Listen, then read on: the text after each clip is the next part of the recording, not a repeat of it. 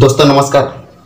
मैं BC Patel easy electrical में आपको स्वागत है। आज हम जानेंगे D O L D O L direct online अगर ये अगर हमने स्टार्टर लगा देंगे तो ये हो जाएगा डायरेक्ट ऑनलाइन स्टार्टर और मोटर लगा देंगे तो ये हो जाएगा डायरेक्ट ऑनलाइन मोटर इसका देंगे हमने?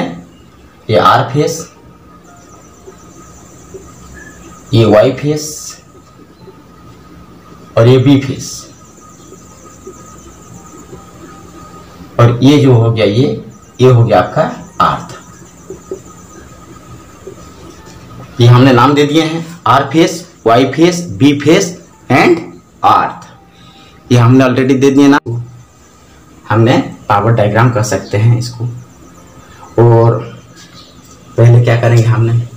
अगर किसी भी मोटर को चलाना है तो हमने ये जो थ्री फेस बस बार से डायरेक्ट भी अगर मोटर को दे देंगे, एक एक लीवर वाला हम लोग को स्विच लगा के मेन स्विच लगा के तभी मोटर चलेगा। लेकिन इसमें क्या है, इसमें मशीन का सेफ्टी नहीं है। कभी भी मशीन जल सकता है और मशीन जलेगा तो हम लोग का जो इकोनॉमिक इन्वेस्टमेंट है वो वेस्ट हो ही रहा है। तो हमको उसको भी वेस्ट नहीं करना है मशीन भी चलाना है और उसमें फ़ायदा भी लेना है और इसको जलाना भी नहीं, उसको सेफ्टी से रखना है। इस चीज़ सब सब के लिए क्या होता है, हमने एक फीडर का ज़रूरत पड़ता है या एक पैनाल का ज़रूरत पड़ता है, एक स्टार्टर का ज़रूरत पड़ता है। तो इसीलिए हमने स्टार्टर लगाते हैं कि प्रोटेक्शन ऑफ़ पहले तो प्रोटेक्शन ऑफ़ वुमेन जो चलाने जाएगा, उसके लिए प्रोटेक्शन होता है। और दूसरी नंबर में आता है प्रोटेक्शन ऑफ़ मशीन कि हम लोग का मशीन भी मतलब सेफ़ रहे।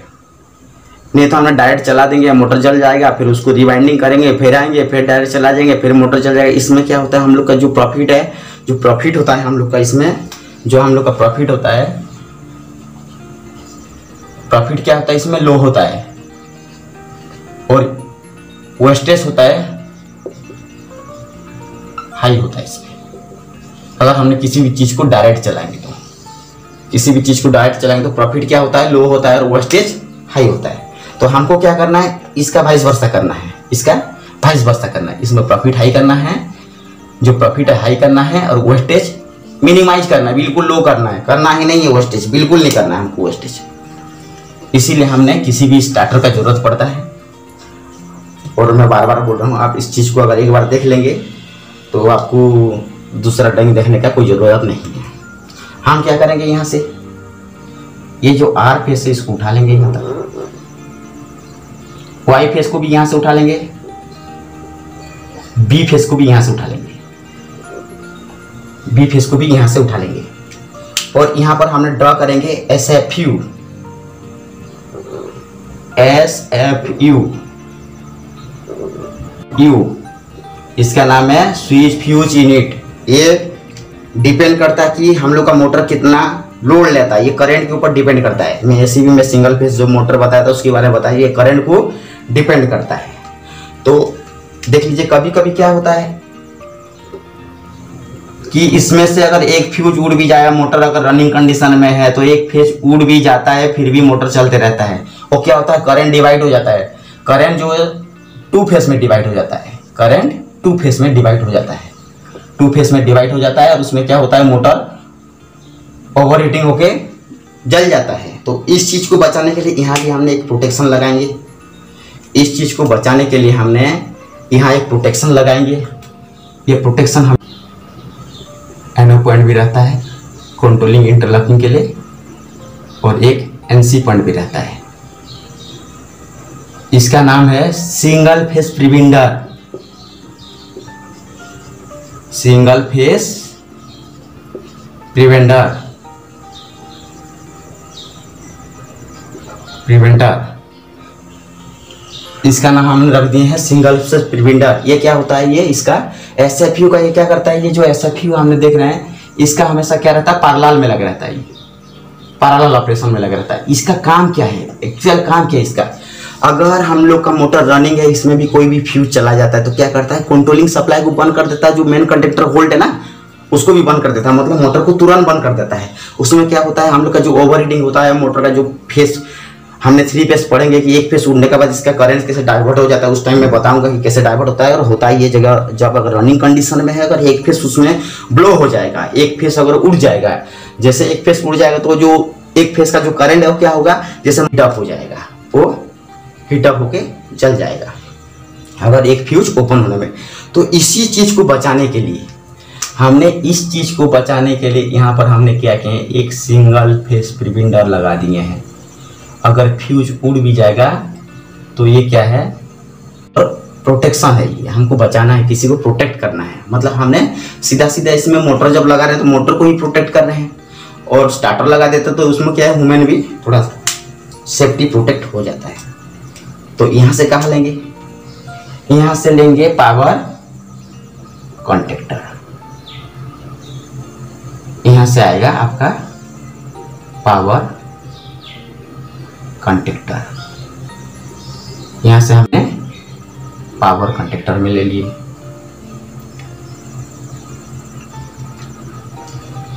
जब यहाँ से हमने पावर कंडक्टर में ले लेंगे, इसको लिख देते हैं हमने पावर कंडक्टर पावर।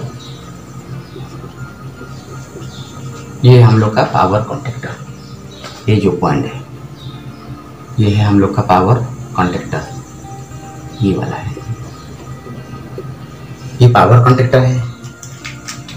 जब हम इसको होल्ड करेंगे, इसीलिए इसका कंट्रोलिंग इसका साथ इंटरलॉकिंग रहता है। जब होल्ड करेंगे तो ये होल्ड होता है, ये नॉर्मली ओपन रहता है। जब चलाएँगे तो ये क्या होता है? क्लोज होता है। ये नॉर्मली क्या रहता है? ओपन रहता है। कौन? पावर कॉन्टेक्टर और जब इसको हमने चलाएँगे तो उसके अंदर जो कोयल का बात हम क्या करेंगे? ओवरलोड रिले लगाएँगे थर्मल ओवरलोड रिले यहाँ पर हमने लगाएँगे thermal overload relay overload relay तो मैं आपको बता दिया हूँ थर्मल ये तो कई प्रकार की लगा सकते हैं। अगर हाई स्पीड का लगाएँगे तो अपने सिटी ऑपरेटेड रिले लगा देंगे, या कोई अपने, आजकल तो लेटेस्ट रिले आ रहा है। अपने कोई इंस्ट्रूमेंट रिले लगा देंगे जिसमें प्रोटेक्शन ज़्यादा रहता है तो हम लोग का क्या है, हमने इसे इसका नाम दे दिया हूँ मैं thermal overload relay thermal overload relay है ये। और ये 95 96 कंट्रोलिंग का साथ रहता है। मैं उसका बताऊँगा, जो मेरा single line diagram three phase induction motor का देखेंगे ना, उसमें पूरा इसके बारे में समझाया हूँ, क्या होता है, कैसे होता है। इसके बाद हमको अगर इस मोटर का करंट देखना है अगर हमने इस मोटर का करंट देखना चाहते हैं तो क्या करेंगे हमने करंट देखने के लिए? एक सीटी लगाएँगे। किसी भी फेस में, अगर एक फेस का देखना चाहते हैं या दो फेस का देखना चाहते हैं, तीन फेस का देखना चाहते हैं, मान के चलिए हमको थ्री फेस का देखना है। एक, दो, तीन, ये थ्री फेस का देखना है हमको तो हमने क्या करेंगे? एक सीटी लगाएँगे। एक सीटी लगाएँगे हमने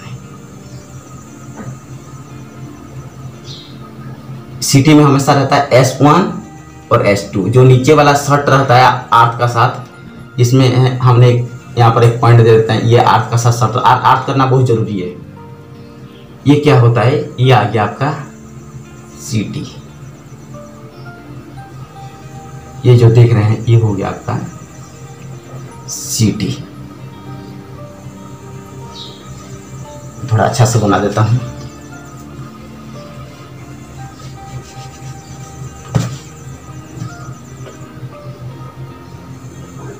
सी टी और यहाँ पर हमने एक लगा देंगे voltage selector switch R Y B का। आर वाई बी तीनों फेस का देखना है तो यहाँ पर हमने ले लेंगे एम्पियर मीटर। यह है एम्पियर मीटर। और इसको कर देंगे आर्थ ये हमेशा आर्थ देना है। आपका जो एस टू होता है, जो सेकेंडरी होता है, इसको आर्थ देना बहुत ज़रूरी है। ये हमने सीटी लगा दिए हैं। आपने देख रहे होंगे, हमने ये जो पर्सन है, ये है सीटी। ये है सिटी। ये सिटी। मैं ये आपको बताने के लिए बता रहा हूँ। ऐसी तो हमने रिक्वायरमेंट करता है तो सिटी लगाते हैं, नहीं तो सिटी नहीं लगाते हैं। रिक्वायरमेंट करता है तो सिटी लगाते हैं, नहीं तो कभी कभी छोटा फीडर में हमने सिटी नहीं भी लगाते हैं। ये आपका थर्मल लोड रिले हो गया। इसके बाद ये क्या करता है? ये direct U one V one W one ये डायरेक्ट हम लोग का कहाँ आता है? मोटर टर्मिनल में आ जाता है। ये आपका डायरेक्ट मोटर टर्मिनल में आ जाता है। ये डियोल का सिंपल डायग्राम है। ये इलेक्ट्रिकल में आपको इजीली बता रहा हूँ। ये three phase induction motor induction motor. इसको इंडक्शन मोटर क्यों बोलते हैं, मैं आपको बताया क्योंकि उसमें इंड्यूस ईएमएफ जनरेट होता है, इसलिए इसका नाम दे दिया गया इंडक्शन मोटर। आपको फिर एक बार बता रहा हूँ इलेक्ट्रिकल का कोई भी इक्विपमेंट हो, वो नाम से ही काम होता है, ज़्यादा करके, नाम से ही काम होता है।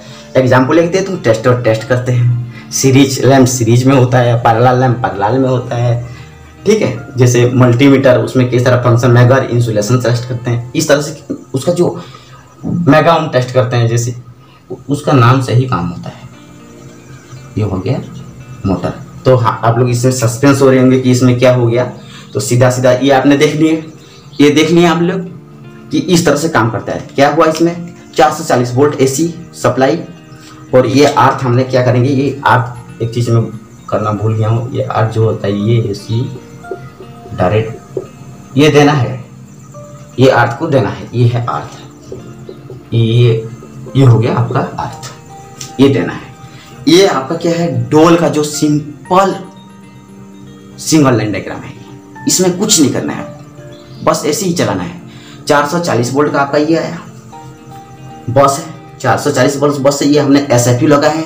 Depend of the three phase induction motor का करंट ये करंट के ऊपर से डिपेंड करता है। ये मान के चलिए आपका, इसका हमेशा एक चीज़ है। आपको मैं बोलना भूल जा रहा हूँ। इसका हमेशा क्या होता है? जो फ्यूज मोटर का पाँच गुना ज़्यादा लगाते हैं।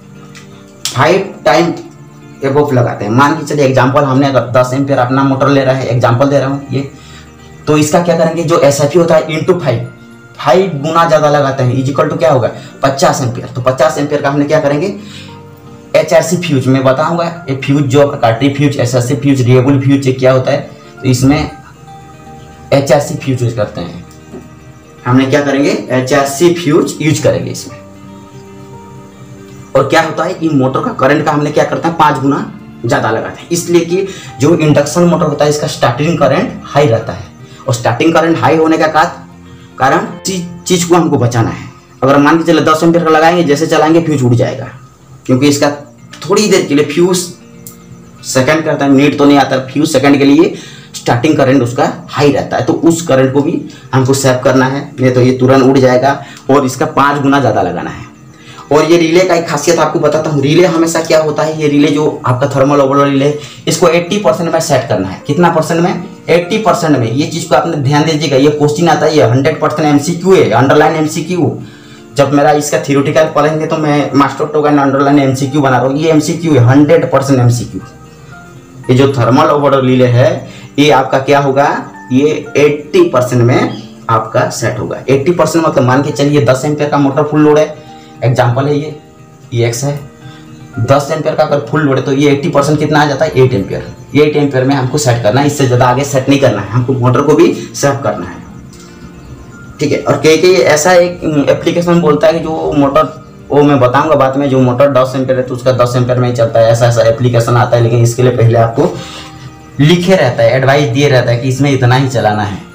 लेकिन हमको इसको थर्मल जो ओवरलोड एरिया है, उसको 80 परसेंट में सेट करना है। और जो ये मीटरिंग है S one S two S one S two S one S two ये आपका एस वन है तो ये नीचे वाला एस टू हो जाएगा। ये आपका एस वन है तो ये आपका एस टू हो जाएगा। और हमेशा एस टू शॉर्ट रहता है न्यूट्रल का साथ मतलब आर्थ का साथ। ये आर्थ दे दिया हूँ, ये आर दे दिया हूँ, ये आर का साथ शॉर्ट रहता है उसको शॉर्ट के अगर हमने एस टू ओपन कर देंगे तो क्या होगा? इसके बारे में बताऊँगा। जब सी टी पढ़ेंगे ना, उसके बारे में मैं ज़रूर बताऊँगा आप लोग को। अगर हमने न्यूट्रल को मान के चलिए, ये न्यूट्रल है, इसमें आर्थ नहीं करेंगे या शॉर्ट नहीं होगा ओपन नहीं होगा तो इसमें क्या होगा? इसमें हाई इंडक्टेंस जनरेट होता है और सिटी ब्लास्ट होता है। इसके बारे में बताऊँगा। जब सिटी पढ़ेंगे ना करंट ट्रांसफार्मर और पोटेंशियल ट्रांसफार्मर जब पढ़ेंगे पोटेंशियल ट्रांसफार्मर उसके बारे में बताऊँगा क्या होता है ये। देख लिया होंगे, ये भी एस एस आपको सस्पेंस होने का ज़रूरत नहीं volt ampere selector switch ampere selector switch ये आर अभी देखते हैं। एम्पियर सिलेक्टर स्विच इसमें एम्पियर मीटर लगाए हैं हमने। ये होता है एम्पियर सिलेक्टर स्विच और इसको आर फेस का करंट देखना है तो आर में सिलेक्ट करेंगे वाई फेस का देखना तो वाई में सिलेक्ट करेंगे बी फेस का देखना तो बी फेस सिलेक्ट करेंगे। आपको इतना ध्यान देना है जो ये एस होता है, वो हम लोग का सिलेक्टर स्विच है और वो एम्पियर के साथ लगे रहता है। तो इसको मैं आपको मिटा सकता हूँ क्योंकि हमको यहाँ नहीं लगाना है एम्पियर एम्पियर नहीं लगाना है। तो हमने इसको सिंपल से ड्राइंग बनाना है क्योंकि इजीलिटी का आपने सस्पेंस हो रहे होंगे। सिंगल से प्रिपेंडेंट तो है, उसको हम बाईपास नहीं कर सकते हैं।